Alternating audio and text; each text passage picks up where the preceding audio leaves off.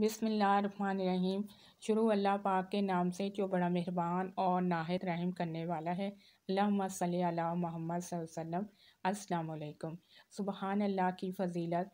सुबहान अल्लाह जब एक मरतबा पढ़ा जाता है तो जन्नत में एक दरख्त लगा दिया जाता है।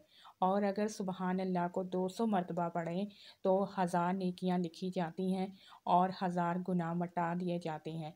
चलते फिरते आप ज़्यादा से ज़्यादा सुबहान अल्लाह का विरत रखें उठते बैठते इसका विरत रखें और इससे बहुत से फ़ायदे हासिल होते हैं और इससे ज़िंदगी के मामला भी आसान हो जाते हैं और दिल को भी सुकून और इतमान हासिल होता है।